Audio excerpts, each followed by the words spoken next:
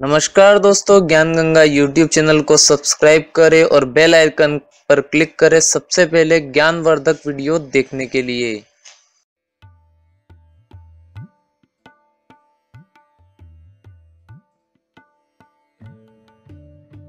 कुशा का आध्यात्मिक एवं पौराणिक महत्व। अध्यात्म और कर्मकांड शास्त्र में प्रमुख रूप से काम आने वाली वनस्पतियों में कुशा का प्रमुख स्थान है। इसको कांस अथवा डाब भी कहते हैं।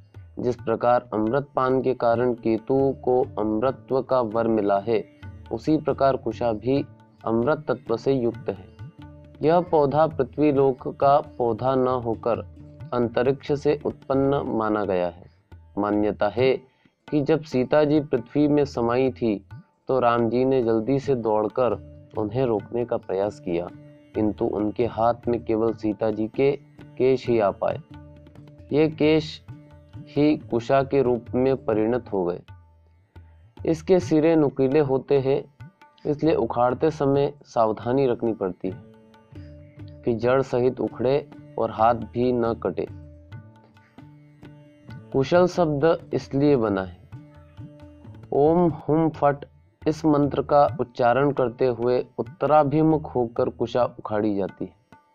भारत में हिंदू लोग इसे पूजा श्राद्ध में काम में लाते हैं। श्राद्ध तर्पण बिना कुशा के संभव नहीं है। कुशा से बनी अंगूठी पहनकर पूजा तर्पण के समय पहनी जाती है। जिस भाग्यवान की सोने की अंगूठी पहनी हो, उसको ज़रूरत नहीं है।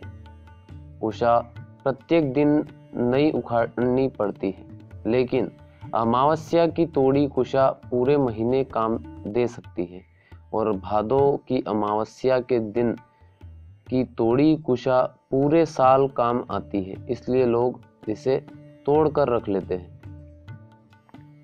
केतु शांति विधानों में कुशा की मुद्रिका और कुशा की आहुतियाँ विशेष रूप से दी जाती है। रात्रि में जल में भिगोकर रखी कुशा के जल का प्रयोग कलश स्थापना में सभी पूजा में देवताओं के अभिषेक, प्राण प्रतिष्ठा, प्रायश्चित कर्म, दशविध स्नान आदि में किया जाता है। केतु को अध्यात्म और मोक्ष का कारक माना गया है। देव पूजा में प्रयुक्त कुशा का पुनः उपयोग किया जा सकता है। परंतु पितृ एवं प्रेत कर्म में प्रयुक्त कुशा अपवित्र हो जाती है। देव पूजन यज्ञ हवन, यज्ञोपवित ग्रह शांति पूजन कार्यों में रुद्र कलश एवं वरुण कलश में जल भरकर सर्वप्रथम कुशा डालते हैं। कलश में कुशा डालने का वैज्ञानिक पक्ष यह है कि कलश में भरा हुआ जल लंबे समय तक जीवाणु से मुक्त रहता है। पूजा समय में यजमान अनामिका उंगली में कुशा की नाग मुद्रिका बनाकर पहनते हैं। कुशा आसन का यह महत्व है। कहा जाता है कि कुश के बने आसन पर बैठकर मंत्र जप करने से सभी मंत्र सिद्ध होते हैं। नास्य के केशान प्रवपंती नोरसी ताडमानते देवी भागवत में अर्थात कुश धारण करने से सिर के बाल नहीं झड़ते हैं और छाती में आघात यानी दिल का दौरा नहीं होता। उल्लेखनीय है कि वेद ने कुश को तत्काल फल देने वाली औषधि, आयु की वृद्धि करने वाला और दूषित वातावरण को पवित्र करके संक्रमण फैल, फैलने से रोकने वाला बताया है। इस पर बैठकर साधना करने से आरोग्य, लक्ष्मी प्राप्ति यश और तेज की वृद्धि होती है। साधक की एकाग्रता भंग नहीं होती। उषा की पवित्री उन लोगों को ज़रूर धारण करनी चाहिए, जिनकी राशि पर ग्रहण पड़ रहा है। उषा मूल की माला से जाप करने से अंगुलियों के एक्यूप्रेशर बिंदु दबते रहते हैं, जिससे शरीर में रक्त संचार ठीक रहता है। उषा की पवित्री का महत्व। कुश की अंगूठी बनाकर अनामिका उंगली में पहनने का विधान है, ताकि हाथ द्वारा संचित आध्यात्मिक शक्ति पुंज दूसरी उंगलियों में न जाए, क्योंकि अनामिका के मूल में सूर्य का स्थान होने के कारण यह सूर्य की उंगली है। सूर्य से हमें जीवनी शक्ति, तेज और यश प्राप्त होता है।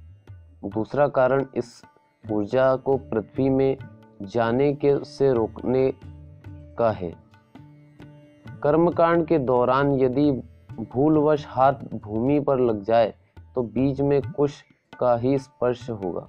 इसलिए कुश को हाथ में भी धारण किया जाता है। इसके पीछे मान्यता यह भी है कि हाथ की ऊर्जा की रक्षा न की जाए तो इसका दुष्परिणाम हमारे मस्तिष्क और हृदय पर पड़ता है।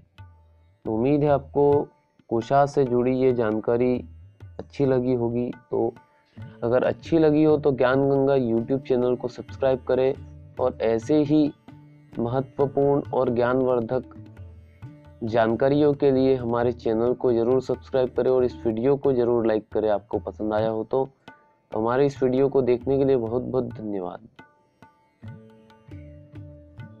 ज्ञान गंगा से जुड़े रहने के लिए ज्ञान गंगा यूट्यूब चैनल को सब्सक्राइब करें। सब्सक्राइब करने के लिए हमारे यूट्यूब चैनल पर यह सब्सक्राइब बटन दिया गया है। इस पर आप क्लिक करिए और सब्सक्राइब करने के बाद आपको एक बेल आइकन नज़र आएगा। ये देखिए, ये बेल आइकन है। इस पर आप क्लिक करेंगे तो आपको हमारे आने वाले वीडियो के नोटिफिकेशन आपके मोबाइल पर सबसे पहले मिल जाएँगे। तो हमारे इस वीडियो को देखने के लिए बहुत बहुत धन्यवाद।